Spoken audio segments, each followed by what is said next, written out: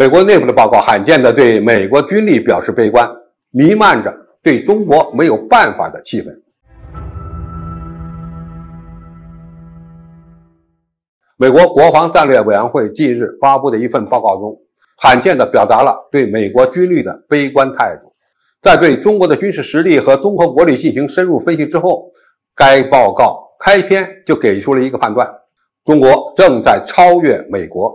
他们认为，在中美竞争的多个关键领域，中国正逐步超越美国。特别是通过长达二十年的重点军事投资，中国已经在很大程度上抵消了美国在西太平洋的军事优势。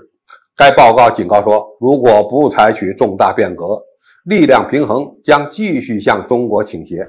这份美国报告非常夸张地表示，中国每年的国防支出估计高达七千一百一十亿美元，且在二零二四年三月宣布将年度国防支出增加百分之七点二。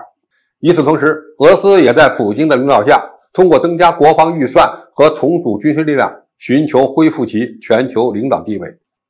该报告强调，美国公众。对于国家面临的潜在危险和准备所需成本的认识严重不足，他们未能充分理解中国的实力及其全球伙伴关系，以及中美之间潜在的冲突对美国老百姓日常生活可能会受到的影响认识不足。报告呼吁美国公众和政策制定者必须对此有清醒的认识。如果美国失去了世界超级大国的地位，将会带来巨大的经济和社会成本。这份报告通过夸大中国军费开支的方式，给美国的老百姓以及美国国会的议员制造了焦虑。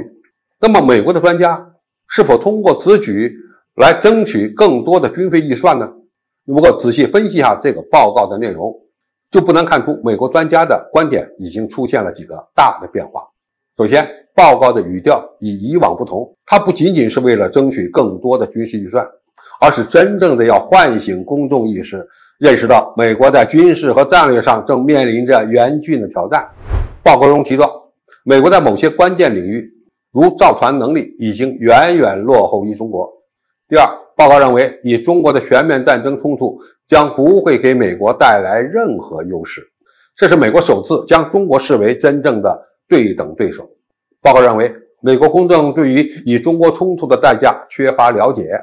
而美国的精英呢，通过与中国的互动，开始意识到形势的严峻性。第三，报告首次直面美国在西太平洋所面临的军事战略困境。美国在西太平洋地区的军事存在正在削弱，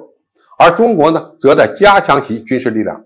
这种变化表明，美国上层已经认识到中国军事实力的快速增长。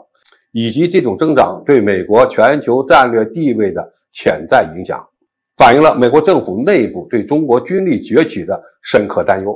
第四，这份报告弥漫着对中国没有办法的气氛，也就是说，该报告没有提出真正意义上的解决方案。美国过去发布的报告往往是讨论如何利用自己的优势战胜中国，比如通过增加军费、增加军事部署来进行威慑。拉拢盟友围堵中国等等，再不行也会讨论如何以中国管控冲突风险，避免给双方造成更大的损失。而这份报告却只强调了美国在与中国竞争时出现了无法控场的情况，特别是中国军事实力如此强大，而又不轻启战端，还在世界范围内推动建立新的世界秩序，让美国很难找到削弱中国的契机。第五，该报告凸显中国的工业规模与工业实力已经超越了美国所带来的深远影响。一个国家的强大一定是以工业规模和工业实力为基础的，然后依次是军事实力、科技实力、金融实力、文化影响力。美国现在的强大几乎是建立在没有根基的基础之上的，也就是后面四个实力过强，而工业实力则严重衰弱。